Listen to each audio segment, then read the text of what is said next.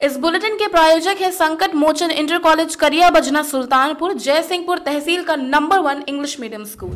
इस बुलेटिन के प्रायोजक है सेम्फोर्ड फ्यूचरिक स्कूल।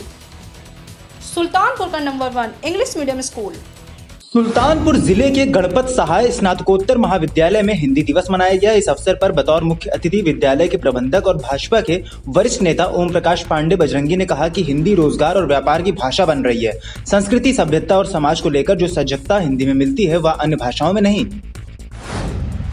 सुल्तानपुर ज़िले में प्रधानमंत्री नरेंद्र मोदी के जन्मदिन पर भारतीय जनता पार्टी ने सेवा सप्ताह मनाने का जो संकल्प अभियान प्रारंभ किया है, उसी क्रम में आज कादीपुर विधानसभा क्षेत्र के विधायक राजेश गौतम ने भारतीय जनता पार्टी के पदाधिकारियों के साथ हॉस्पिटल में पहुंचकर मरीजों को फल वितरित किए और लोगों को सिंगल यूज़ प्लास्टिक न प्रयोग करने की सलाह दी।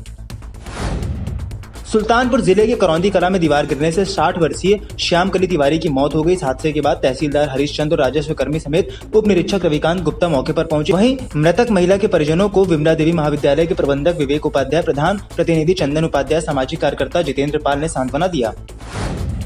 सुल्तानपुर ज़िले में विश्व हिंदू महासंघ के जिला अध्यक्ष डॉक्टर कुंवर दिनकर प्रताप सिंह और महामंत्री सचिन पांडे के संयोजन में संत अवैधनाथ को श्रद्धा सुमन अर्पित करने के लिए सामाजिक समरसता, गोष्ठी एवं सहभोज का आयोजन करौंदिया के आरबी पब्लिक स्कूल में किया गया।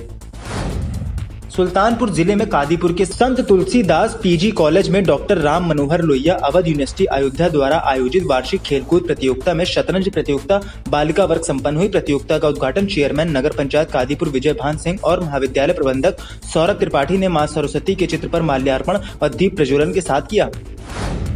अमेठी ज़िले के पीपरपुर थाना क्षेत्र के दुर्गापुर बाज़ार में चोर महिंद्रा पिकअप चुरा ले गए। फ़िलहाल पुलिस इस मामले की जाँच पड़ताल में जुटी है। अमेठी ज़िले का जगदीशपुर डाक बंगला चौकीदार के इशारे पर खुलता और बंद होता है। आरोप है कि चौकीदार रात में कमरा कुछ घंटों के लिए किराए पर देता है, हालाँकि उसने इस बात से इनकार कर दिया है। अमेठी ज़िले में शंकरगंज पुल से एक युवती ने छलांग लगा दी। पानी के तेज बहाव के चलते अब तक युवती का कोई सुराग नहीं मिल सका है। घटना मोहनगंज कोतवाली क्षेत्र की है। फ़िलहाल पुलिस और गोताखोर युवती की तलाश में जुटे हैं। अमेठी ज़िले के जगदीशपुर थाना अध्यक्ष अंगद सिंह के पत्रकारों के साथ कार्य व्यवहार से आक्रोशित पत्रकारों ने एक मीटिंग कर एसपी से शिकायत की है। अमेठी ज़िले के औद्योगिक क्षेत्र जगदीशपुर में ह्यूमन राइट मिशन के पदाधिकारियों की बैठक हुई, जिसमें मानवाधिकार के नियमों के पालन में संगठन द्वारा सहयोग करने पर चर्चा हुई। अयोध्या में रामलला के दर्शन करने पहुँचे भाजपा के वरिष्ठ नेता सुब्रमण्यम स्वामी ने कहा कि मूलभूत अधिकार प्रॉपर्टी के अधिकार से ऊपर है। इसी आधार पर नवंबर में रामलला के पक्ष में फैसला आएगा और इसी साल राम मंदिर निर्माण भी शुरू हो जाएगा। अयोध्या नगर निगम के कचहरी परिसर में जिला न्यायाधीश नीरज निगम की अगुवाई में राष्ट्रीय लोक अदालत संपन्न हुई। विधिक सेवा प्राधिकरण के सचिव जज सर्वेश कुमार मिश्र ने बताया कि लोगों के सुलह समझौते वाले सैकड़ों वादों का इस दौरान निस्तारण किया गया।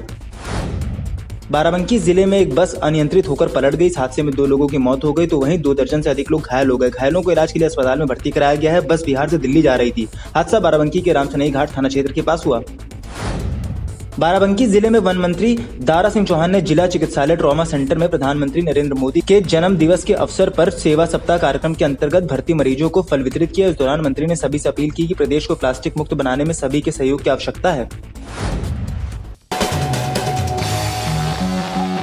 देश दुनिया की ताज़ा तरीन खबरों से रूबरू होने के लिए सब्सक्राइब कीजिए आपका अपना चैनल एन भारत।